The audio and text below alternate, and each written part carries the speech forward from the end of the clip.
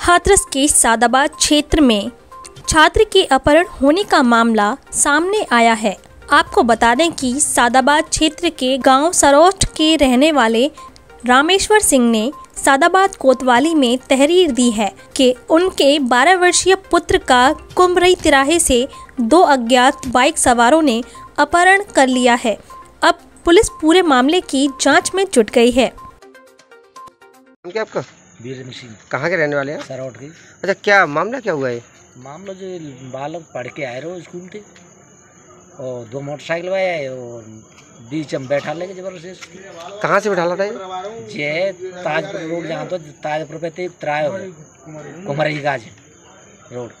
वैसे ही वहाँ पे थे रोड पे थे मुरखे हुए वैसे ही माटिया मोटरसाइकिल वाले क्या नाम क्या था बेटे का?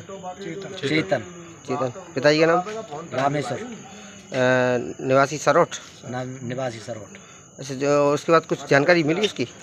अभी कोई जानकारी नहीं मिली। कितने बजे घटना है? जे तीन बज के बीस मिनट। तो उसके साथ और भी बच्चे आ रहे थे पढ़ने के लिए? उन्होंने किसने बताया था फिर आपको? ऐसी हमन तो सुनी आपने एक ताजपुर को हुआ ने फ़ोन फ़ोन करे सौ नंबर। सौ नंबर पे अच्छा, और एक आकार औरत थी हमारे गाँव की। रोड पे जी। तो बाय देख के वो किल्लानो बालक। हम्म, किल्लानो तो बा ने हल्ला करो कि ऐसे पकड़ कर लेगी। वो जान दी वो पहचान लो वो। अच्छा। हाँ। उम्र कितनी थी? बारह साल जी कौन सी क्लास में पढ़ता था? पाँच कौन सा स्कूल कौन सा था उसका? M L. M L. के नाम से।